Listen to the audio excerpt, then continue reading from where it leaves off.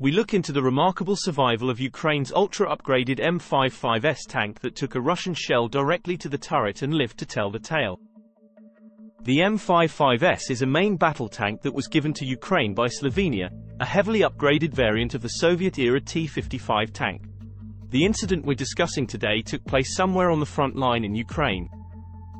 The M55S tank was engaged in a firefight with Russian forces when it was hit by an enemy shell. The shell struck the turret of the M55S, a critical hit that could have spelled disaster for the tank and its crew. Despite taking a direct hit, the M55S tank survived. The shell failed to penetrate the tank's upgraded armor, and while the impact caused significant damage, it did not result in a catastrophic kill. The crew of the M55S tank were shaken but unharmed.